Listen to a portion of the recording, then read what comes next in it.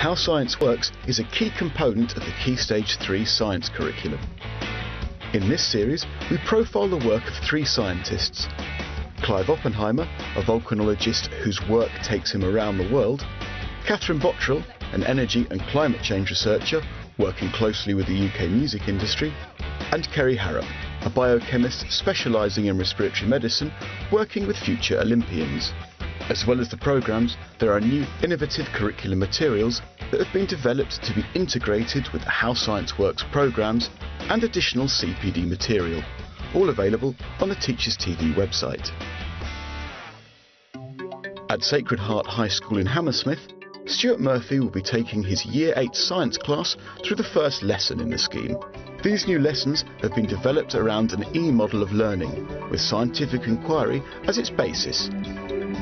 The lessons are divided up into stages which cover all the important learning functions. Lesson objectives are not displayed at the start, but through inquiry are drawn out naturally during the course of the lesson. I like the fact that you go from beginning to end. It's got quite a natural flow to it, and it's for my for me anyway. I find it's quite easy to teach. It's not it's not ungainly. It's not unusual. It doesn't feel uncomfortable. It just makes sure you're doing the things that you wanted to do in every lesson anyway. The lesson is about breathing and links in with the How Science Works Asthma on the Run programme. The Engage section is designed to grab the students' attention and introduce them to the objective of the lesson. Have we got any asthmatics in the room? One. How long have you been asthmatic? Since I was a baby. Can you explain to people what an asthma attack is like? It feels like your lungs are tightening and closing and you keep gasping for air. So it makes it really hard to breathe, right? Yeah. So we're going to have a look at the video clip. We're going to look at this athlete and see. Um, he wants to be in the Olympics. So he actually wants to be like the best in the world, not just average. And also to a scientist who's working with him to find out a bit more about his lungs. This opening clip sets up the central theme of the lesson whether an asthmatic athlete could win an Olympic gold. A show of hands reveals that most of the students don't fancy his chances. Take two minutes, groups of three preferably, and try and come up with an idea of why do you think he can't win an Olympic gold medal? So your heart is pumping faster, but with someone who has asthma, they can't like breathe yeah, as well. He hasn't got enough oxygen, and when you run, your heart beats faster. If you're a person with asthma, you're going to lack energy because you can't really breathe as much. So we think he can try to win a gold medal, medal but he's going to have a disadvantage compared to the other people that he's running with. Maddie? I like seeing as it's around the summertime and stuff, uh, it, and it could global warming. It's getting hotter, Yeah. so it could be a humid day, seeing as it is in the future.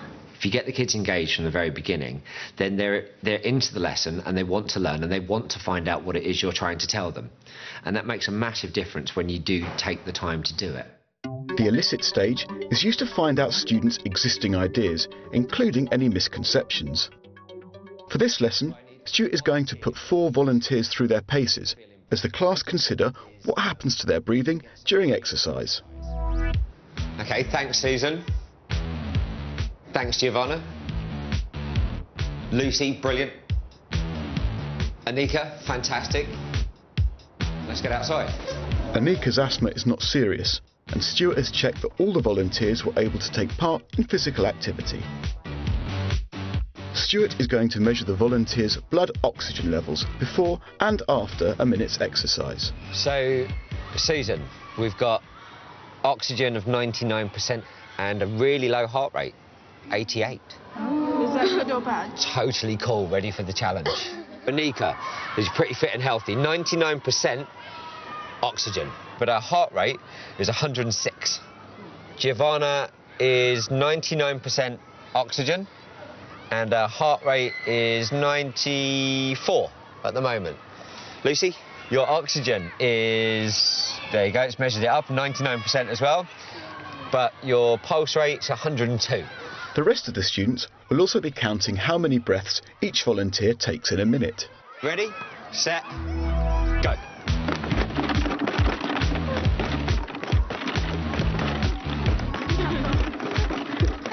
Girls, watch their breathing. We can't see the breathing. Okay, girls, stop. They're all pretty puffed out. We're going to see if anything's changed. They've had a bit of time to relax.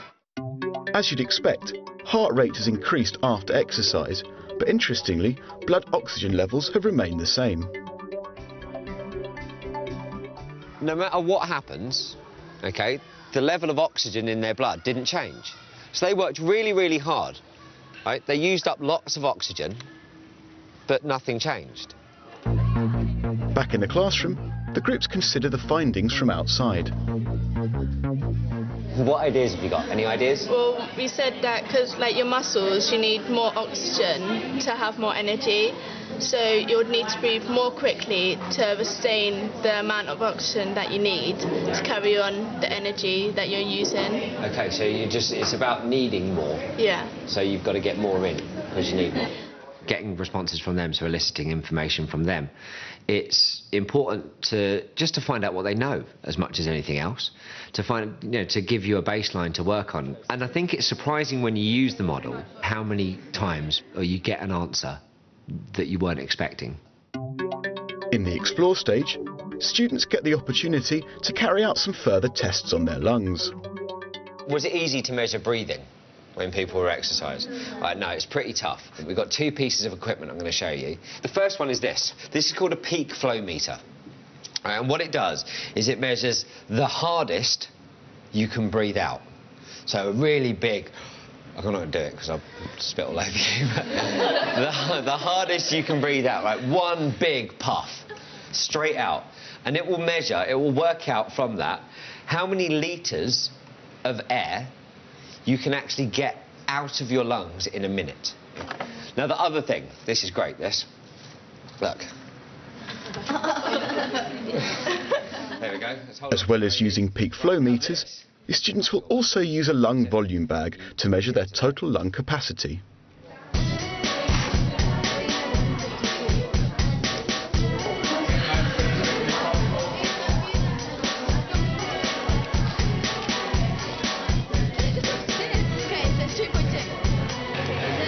Finally, they measure each volunteer's height and enter all of the readings into a spreadsheet. That is one metre, 53 and a half. The preparation for a lesson like the one that I did today is, it is a little bit more extensive than usual, I think. And there is more to do. The big advantage, I suppose, being that once you've done it, it's done. So you don't have to go back and do it again. But there is a little bit more in terms of you've got to have all the resources ready. Some of the resources that we use today are things we've never used before.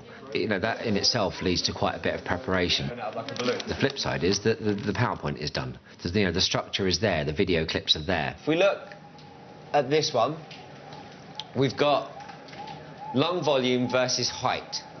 Does anyone think there's a pattern there? Sarah? The smaller the height, the smaller the lung volume, like in some like with some of the people. But Yeah. then, so I think if you have a small height, then it's the smaller the lung volume because you Okay. make small lungs. So maybe if you've got small height, small lung volume, means you've got small lungs. Yeah. Okay, that's an interesting idea. Um, we'll have a look at peak flow as well now, see if there's anything else there. Have a look at that. What do you think? Again, it looks like the higher, the taller you are, the higher your lung flow is. But then in the middle again, you're middle height, and then you're the highest peak flow. So, sort of around the middle heights, it does vary a bit. Yeah. But you've got some of the taller people at one end and some of the low, smaller people at the other end. Yeah, I think that's pretty reasonable. In the explain stage, Stuart builds on the previous ideas using the second part of the video, which shows a spirometry test. This is a more complex version of the tests the students have just carried out. It also shows how data obtained from tests like these can be used in a real life situation. For me, it's all about seeing science in reality, in real life situations. And probably today's lesson was a perfect example of that. A real person, a real scientist, real data, real information. And you know, for the pupils, it's that's what they're seeing. They're seeing the real world and how science fits into the world that surrounds them. The elaborate stage helps students apply their knowledge to another context. The third section of the video goes into much greater depth about how the lungs work and the importance of medication for somebody like Wayne. When we seen the lungs, it was alright, but it was a bit disgusting. I liked the bit when they dissected the lungs because it showed how the lungs work. I didn't really expect like the colour of them or anything because they were a bit red and well, I was expecting them to be red, but they were more thick than I thought they were going to be. Although some of the students are a bit squeamish, the lung dissection has clearly got them thinking further about asthma.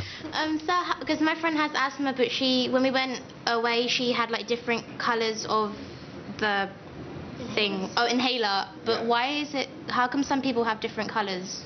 Uh, there's different types of medication, so like they can do the same job, but some of them um, are just different chemicals. So some people might have, be better off having one, like some children take one and some adults take another. But like she said, she's, there's one that you take all the time. Then there are others to take for when you're actually having an asthma attack to try and stop it, to try and make the airways get bigger. Aren't some of them stronger than others? So Yeah. if you've got really severe asthma, you can. Absolutely. So I don't know what the colours mean, but you get different colours for different things. Pascal knows what the colours mean. Aren't the blue ones if you're having an asthma attack at the moment, and then the brown ones at the the long term um, that aren't as strong, and then the white ones with the red at the bottom are the strongest ones. Is that right? Okay, that sounds reasonable to me. My dad used to have asthma and he doesn't have it anymore. Can you get rid of it or does it Um, just go away? It depends how bad it was in the first place. Okay, um, it may have been something that caused his asthma because some people have asthma when they're younger and it's to do with where they live and things like that. Like pollution can cause asthma in a lot of people, or at least it can show it up so that you've got to have an inhaler. So some people have them at certain times, like maybe when they're growing up because their body's changing, their, everything's growing, they can have different problems. But then it, sometimes you just don't need one anymore. But maybe he doesn't run like he used to, I don't know. The Evaluate section is designed to test how the student's understanding is progressing. In this lesson, it takes place in two sections. Firstly, the students play a true or false game to test their knowledge. Cells release energy from glucose and water. False. Right, glucose and oxygen. And finally, Stuart asks the students to consider how they'd explain what they've learnt to a younger audience. Okay, Emma, what have you got? Asthma is when you have difficulties in breathing. This happens when a part of your lungs becomes clogged up with mucus and slows down the process of gas exchange, making it harder to breathe. Today you can use medication to help stop this. You can use an asthma pump which helps to break down all the clogged up mucus and makes it much easier to breathe. Fantastic. Wouldn't you feel better if you got a letter like that? Yeah. Yeah, I think I'd feel a lot better. So, girls, um, what's the key? The one key thing, if you're asthmatic, what should you be doing? Pascal?